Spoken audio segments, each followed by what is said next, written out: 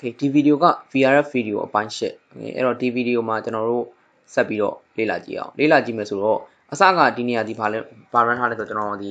RIP protocol အနေနဲ့ run ထားတယ် okay ဒီနှစ်ခုကိုကျွန်တော် RIP protocol အနေနဲ့စမ်းပြတော့မှာ run ထားတယ်ဒါပေမဲ့ဒီ lab ကိုကျွန်တော်တဆင်ချင်းစီလုပ်ပြီးတော့ customer service တွေထပ်ထပ်ထပ်ထည့်တဲ့အချိန်မှာအမ်ဒီနေရာဒီ RIP protocol ကနှစ်ခုဖြစ်နေတယ်။ okay အဲ့တော့ကျွန်တော်ကဘာလုပ်မလဲဆိုတော့ router အသစ်လုံးထပ်မထည့်တော့မထည့်တော့ဘဲနဲ့ဒီကောင်ကိုပဲဒီ RIP မသုံးတော့ဘဲနဲ့ကျွန်တော် BGP အနေနဲ့ပြောင်းပြီးသုံးမယ်။ okay အဲ့တော့မဟုတ်ဆိုလို့ရှိရင် RIP နှစ်ခုဖြစ်နေမှာဆိုလို့ right အဲ့တော့ router C1 ဘက်ကနေမှကျွန်တော်ပြန်ပြီးဖြတ်လိုက်ပြီ no router RMB ဆိုပြန်ဖြတ်လိုက်ပြီ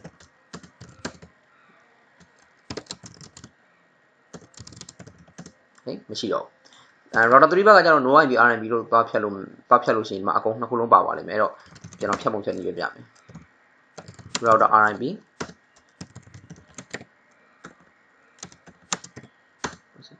B, no address family. IMV4,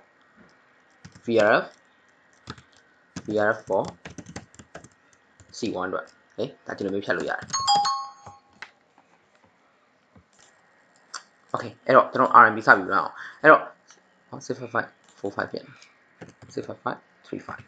Okay, on this 655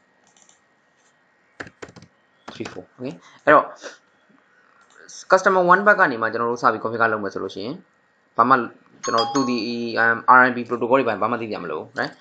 time configure လုပ်လို့ရတယ်အော် sorry RMB ဖြစ်တယ် VRF တွေဘာမှသိကြမလို့ right အဲ့တော့ router PGP 65535 neighbor 10.0.13.3 remote AS 65534သူရဲ့ network က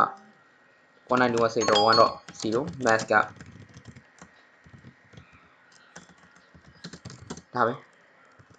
okay C1 ဘက်က configure တာပဲအဲ့တော့ဒီနေရာမှာကျွန်တော် BGP ကိုကျွန်တော်အစားဆုံးပြန်ပြီးပြောပြနေတယ်လိုမယ်လို့တော့မထင်ဘူး right အဲ့တော့ကျွန်တော်မပြောပြတော့ number 3 so router BGP router 3ရနော်65534ပြီးရင်ကျွန်တော်ဘာလုပ်ပြမလဲ address family IMPv4 unicast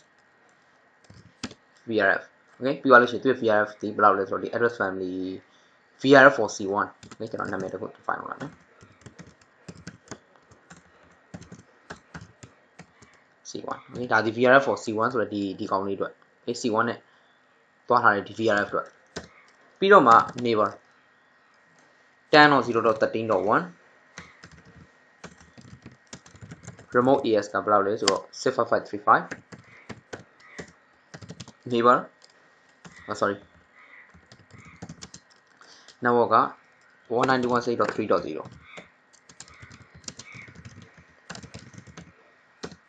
ဲ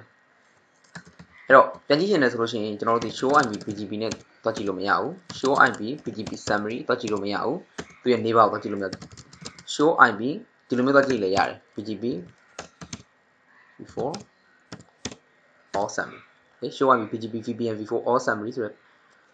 comment နဲ့တွက်ကြည့်လို့ရတယ် okay မှာ neighbor ကအပ်သွားပြီမအပ်သေးဘူးဆိုလို့ရှိရင်တော့ကျွန်တော်ခဏဆောင်လို့ရတယ်နော်စောင့်စောင့်ပြီးတော့မှပဲ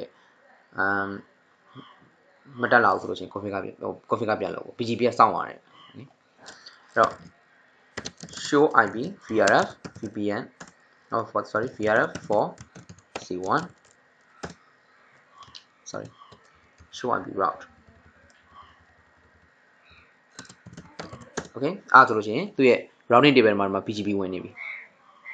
okay PGP အနေနဲ့ဝင်နေပြီကျွန်တော် ping ကြည့်လို့ရှိရင် ping လို့ထွက်တယ် ping 191.1.1 source 191.3.1 repeat 1000 ping ကြည့်လိုက်လို့ရှိရင် ping လို့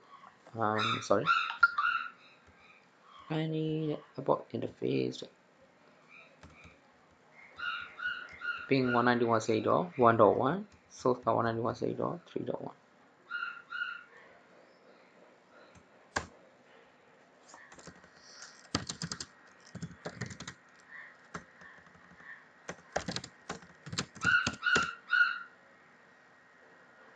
loop back one, three dot one. Okay.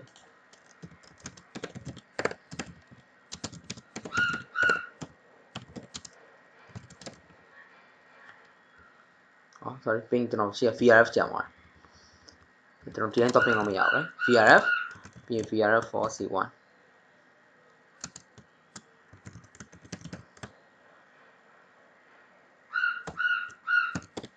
C1 စီ1 okay အဲ့လိုပင်ကြည့်လိုက်လို့ရှိရင်မပင်လို့ထွက်နေပြီ right okay အားဆိုလို့ရှိရင်အဆင်ပြေမယ်လို့ကျွန်တော်ထင်ပါတယ် right ကျွန်တော်အားဆိုလို့ရှိရင်နောက်ထပ်ဗီဒီယိုကြမှာတွေ့မယ်